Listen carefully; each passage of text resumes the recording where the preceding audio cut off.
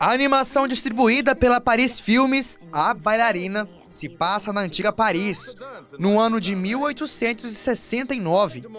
Conta a história de uma menina sonhadora que deixou um orfanato onde morava para ir em busca de um sonho, o de ser bailarina.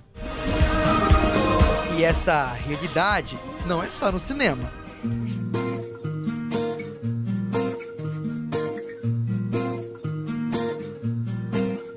Aqui na escola de balé, várias meninas têm esse mesmo sonho e elas começam bem pequenas. A principal incentivadora é a Cristina Rocha, que nunca deixou de ser bailarina. E o prazer que eu tô tendo hoje de conhecer a tua escola é imenso. Daqui saíram bailarinas excelentes, né? E como é que você se, se sente sabendo que é, aqui é uma fábrica de sonhos? Feliz, compromissada e tenebrosa, porque quanto maior aumenta o compromisso, né, maior aumenta a responsabilidade e o peso. É um peso nas costas, mas é um peso gostoso, é o peso da criação, é o peso da responsabilidade, é o peso da valoração e formatação da arte. Eu sou muito feliz. Sem dúvida. Cristina, agora existe um método para quem vem para cá, né? As meninas, elas chegam aqui, é, pode ser até maior de idade, mas ela tem que passar pelo nível do começo, né? É. Explica para quem está em casa como é que isso, que isso funciona. Ah, legal essa pergunta, muito legal. É uma pergunta didaticamente correta.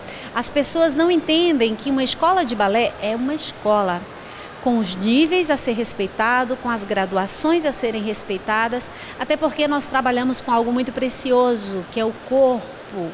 O corpo bem trabalhado, ele é uma máquina linda, mas também pode ser danificado na mão de péssimos profissionais ou profissionais não capacitados, não é?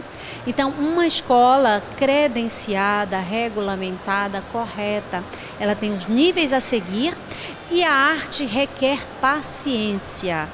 Aliás, eu creio que tudo para ser bem feito tem que ter uma dosagem de esforço, paciência e fé. Se não tiver esses três critérios, não consegue vencer e chegar à competência. Então tem os níveis. A criança quando ela chega a beber aqui, ela vai fazer o baby balé, o pré-balé, que é como se fosse alfabetização. Depois vem os níveis preliminares, depois os elementares, que são os níveis de ponta. Depois dos níveis elementares vem os advances e depois aí vem a companhia da escola, que é quando ela se capacita para viajar e representar a escola internacionalmente também, não só nacionalmente, como agora que vai um grupo para Nova York e outro para Miami. Que legal. E aí a escola cresce, as alunas ficam cada vez mais profissionais, prontas aí para encarar o mercado lá fora. Isso aconteceu com a nossa personagem do, do, do filme A Bailarina, né, que nós acompanhamos mais cedo, é claro. E agora nós vamos conhecer uma outra sonhadora. Ela está aqui? Será que ela já chegou? Ah, eu acho que já. Vamos lá conversar com ela? Né? Vamos, a Clara também é sonhadora. Então, vamos lá. Bem,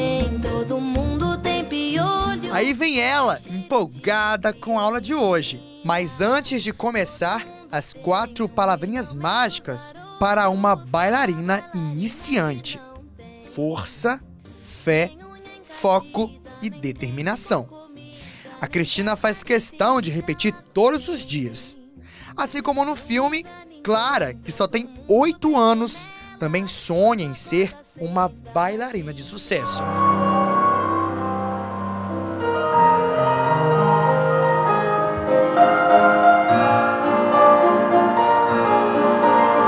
Essa é a tua hora favorita do dia, né? A hora de vir pro balé. Como é que você se sente quando você chega aqui? Eu me sinto bem, só que aí eu já sei que é duro. É uma coisa dura. Você tem que ter muito esforço para fazer mesmo, porque tem uma hora que você se, que você se sente às vezes com tanto esforço que você se sente quebrada. Mas vale a pena depois, né? Quando você vê a, a, a, sua performance, né? Quando alguém vem te parabenizar. O que é que, o, o que mais que você gosta aqui na escola? Você tem, você, você tem amigas? Tenho, tenho amigas. Eu gosto, eu gosto muito delas. Eu acho que é uma das coisas interessantes porque eu não, eu não, particularmente, eu não me sinto bem estando num lugar onde eu não conheço ninguém, onde eu não tenho nem, nenhuma amiga. Então, então é um dos outros motivos de eu gostar muito daqui. Agora uma pergunta que eu estou muito curioso para saber. O que é que você sente quando você dança? Eu me sinto nas nuvens. Literalmente, você é um anjo. Você sente nas nuvens?